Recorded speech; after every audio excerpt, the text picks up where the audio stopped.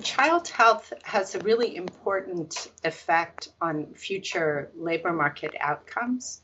It's not what people think. It's not really that poor health uh, routinely prevents kids from going to school and affects their educational opportunities.